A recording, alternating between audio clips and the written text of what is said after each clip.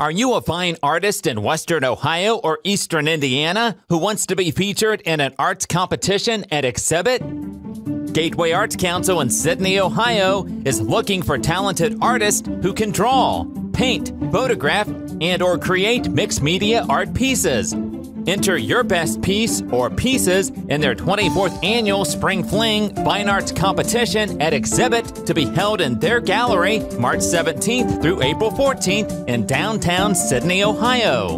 Awards and prizes will be announced at their award reception on March 17th 6 p.m., including the Best of Show for a prize of $800, along with many other cash prizes. Entries must be postmarked no later than March 7, 2023.